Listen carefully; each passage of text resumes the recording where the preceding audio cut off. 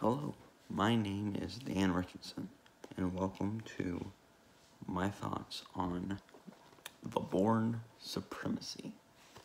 So, yes, by the way, I am reviewing all of these. Um, you know, I, I got them all just this past week, and and I'm gonna review them for y'all.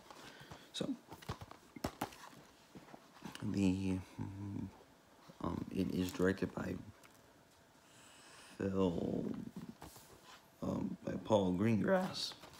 So a change in directors, and um,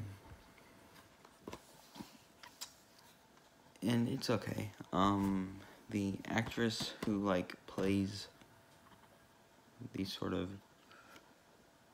main antagonist of sort. She does a good job. She's a little, I'd say she's a bit more compelling than um, Chris Cooper was because like she eventually kind of sees um because she eventually sort of turns around on Jason Bourne. By the way, minor spoilers for a movie that came out in 2004. But it minor spoilers. But um you know, it you know, she kind of comes around on Jason and you know, it's kind of nice that, you know, she sort of was able to trust Jason more than Chris Cooper's character. So basically, um, the story here is that is that um the the lady her name is uh, uh Lainey maybe. I think that's her name. Uh, she's doing this job in Berlin to get some um, get some evidence. Or to get some data files. And um, Karl Urban uh, kills um, the two people who are going to get that information.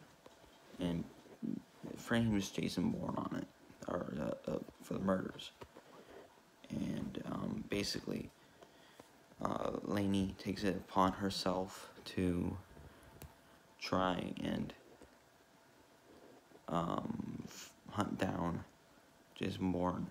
But of course, we know that Jason Bourne is in India with his, um, still with his girlfriend from the from the previous movie, Mary, or um, not Mary, uh, but you know from his you know from the previous movie, his girlfriend, and you know they're just living um quietly in India. Maria, her name is Maria. Um, so and Karl Urban goes and tries to kill Jason, but he actually ends up killing Maria. So Jason's primarily alone in this movie, which I think uh, is a little bit of a of a mistake on the part of the writers. Um, Tony Gilroy is the only writer for this movie because um, Tony Gilroy wrote it wrote the first movie with somebody else, and this is just Tony Gilroy.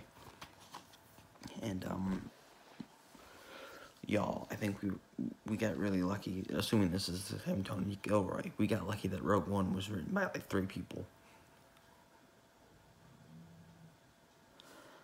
We got lucky, but yeah. So this movie not as good as the first one, I'd say. Um, the the car chase I do think is better. Um, but you know they still try to do the, okay, get inside Jason Bourne's head thing where, you know, you're with Jason and you're trying to figure out the mystery along with him. And I don't know, I rather liked it. Um, it, uh, Jason Bourne doesn't really get out of character at any point in this, in the film, which is good. You know, you want that from your, from your sequel. But yeah, like, it, you know, if you like the first movie,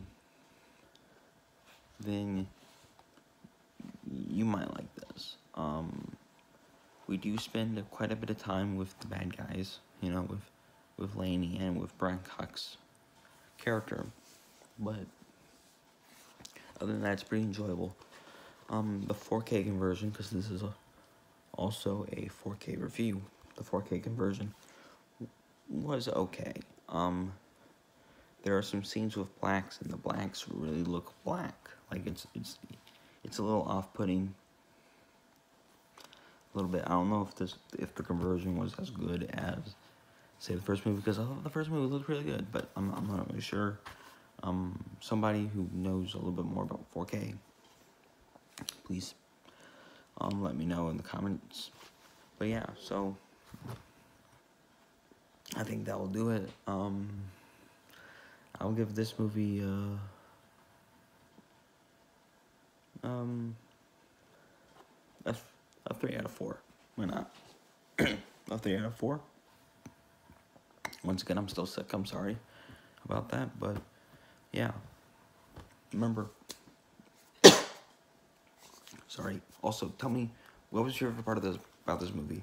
But now.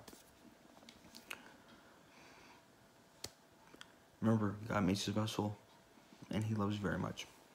Bye.